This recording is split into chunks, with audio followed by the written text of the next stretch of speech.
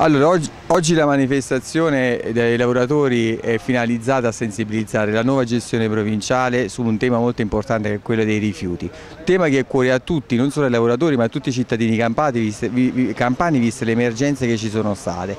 Noi chiediamo semplicemente l'applicazione della legge regionale che come al solito vengono fatte, emanate, combattiamo per averle e poi non vengono mai implementate. Eh, gestire bene è possibile, abbassare i costi costi è possibile se la politica eh, si impegna a fare una gestione ordinaria, seria, consapevole eh, dando un servizio al cittadino e diminuendo i costi. Chiediamo semplicemente che vengano mantenute le eh, aspettative e le promesse fatte e soprattutto che venga eh, rispettata la legge.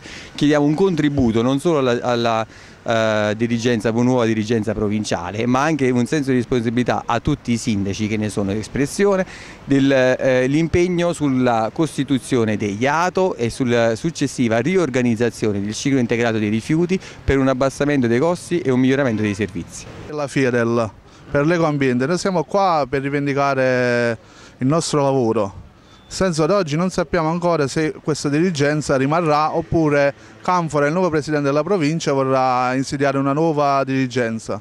Quello che ci preoccupa è la realizzazione del lavoro, vogliamo risposte chiare in merito a questa situazione e abbiamo ricevuto una convocazione per lunedì alle 4 qua in provincia dove aspettiamo risposte concrete.